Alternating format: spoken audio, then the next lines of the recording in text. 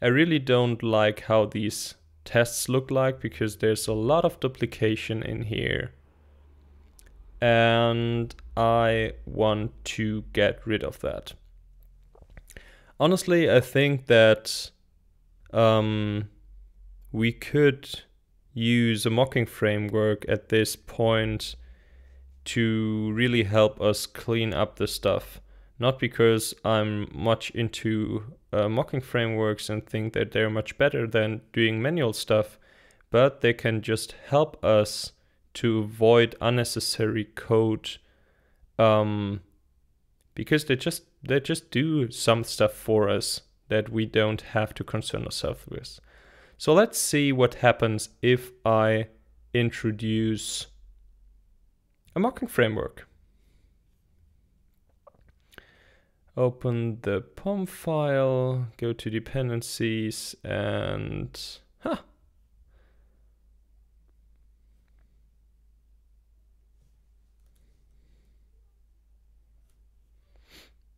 Open the POM file, eventually go to dependencies, uh, do an add and search for Mockito.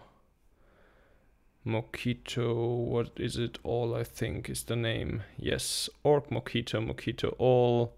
This is going to be a test dependency. Add and save. This should resolve that issue. So we should now have Mockito on our dependency list. Fine.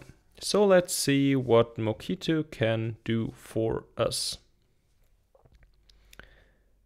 Let's introduce or re-implement rather the tests we have here does nothing if game is not running Mockito. So my test game is going to be a mock. So we have new, or we rather we have mock um, game class, which is going to be my test game. And I want this to be a game of test input, like before. Now I get a problem with warnings because of the generic parameter there is an unchecked cast so I'm going to for now add a suppress uh, unchecked to this method.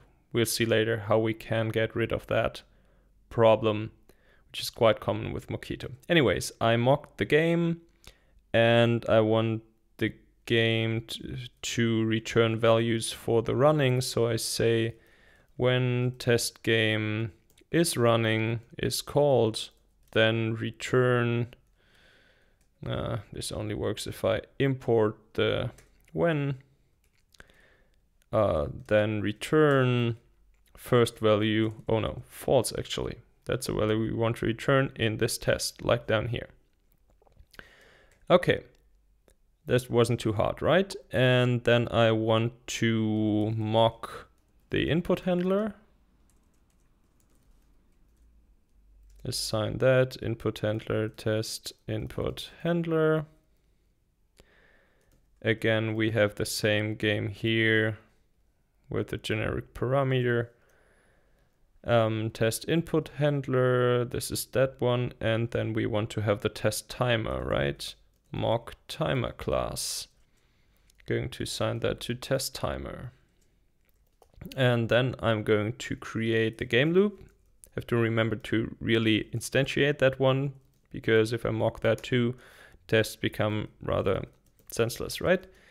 Um, might sound stupid to you, but there's actually people doing that. And it even happened to me once or twice uh, during my studies that I ended up with tests that did not test anything anymore because I mocked everything and every little last piece of it till there was nothing left was that was actually real code.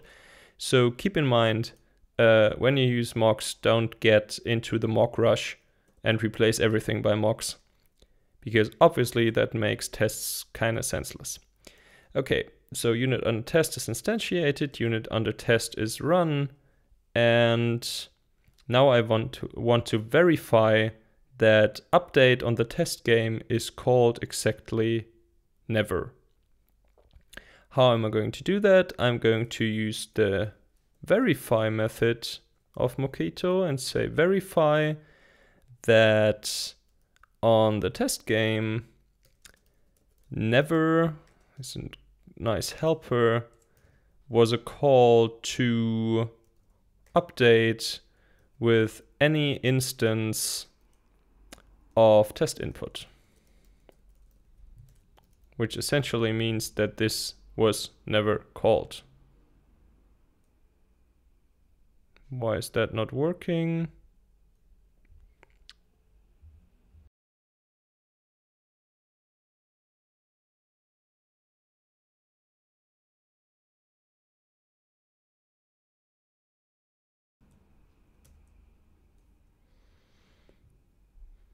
Mockito, Mockito, and I want to have Matchers.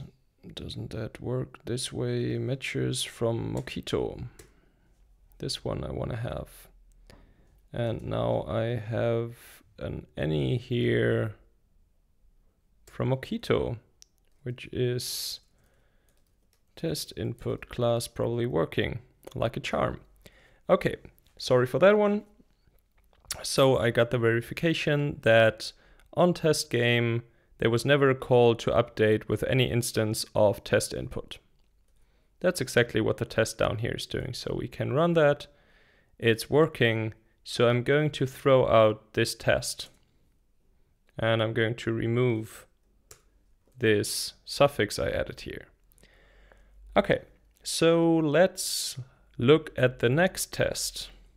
Test public void invokes one update if game is running Mockito. Now I could repeat the stuff, but I'm not going to repeat the stuff. Um, instead, I'm going to the same to do the same thing I did once before. I'm going to introduce a, a, a before method, a setup method, to do the stuff. Only this time, since I'm using mocks, I can modify the behavior of these mocks in the tests. Um, although I created the instances before the tests. And that's what's going to help me um, keep the tests cleaned up. So I'm going to modify, convert this into field. Yes, yeah, I'm satisfied with the name. So I can move this up here. Import the before should be working. Rerun, test still working. I'm going to convert this one into a field. Yes, yes. Move it up here. Execute, still working. I'm going to do the same thing with the timer. Convert to fields. Yes. Move that up here. Um, this is going to stay here, but this can also uh, be converted to field now.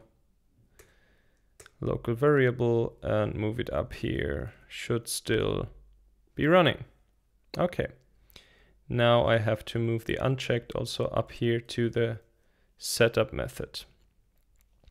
Test is much easier to read there's one value going to be returned by running, which is false. When I run the game loop, there should never be a call to update with any instance of test input.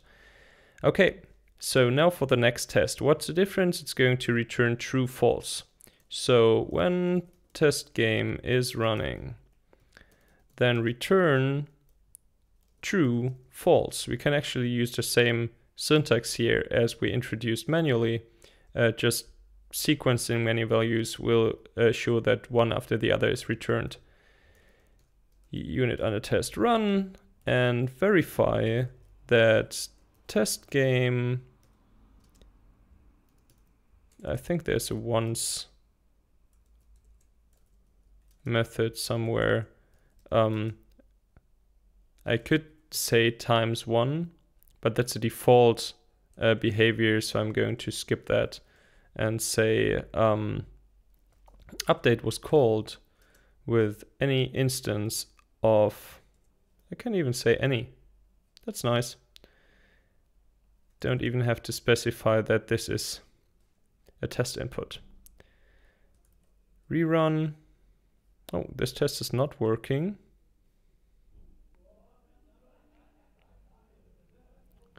Question is, why is it not working?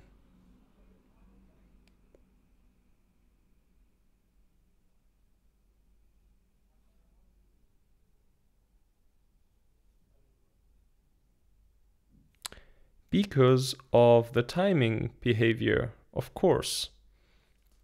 Um, we see here that is running has been invoked, render has been invoked, uh, is running has been invoked again. So the, the repetition of the loop actually worked, but update was not invoked because I have no default timing behavior right now. So I'm going to introduce the, the default timing behavior we've seen before by saying when test timer dot um, get current time, then return zero. Um, going to add a static import here real quick.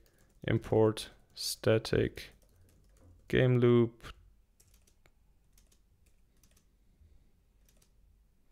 frame duration say this is going to be frame duration this is going to be two times frame duration this is going to three times frame duration. Um, I know I had four times down there, but probably three times is enough. Let's see, now the test is running. Okay, I'm fine with that. This test repeats this one down here, so I'm going to delete the lower one, rename, rerun, working. Okay, for the next test. Let's write public void invokes update as long as game is running Mockito.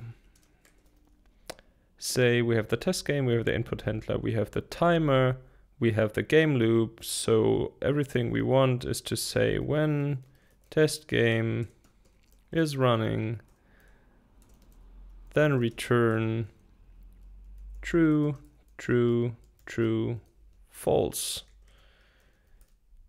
Run the game loop and verify that test game times 3 to import that one. Test game times 3 so 3 times we had an invocation to update with any parameter does that work? It does work, so I'm going to remove that test, remove the suffix, re-execute the test, still working. Okay,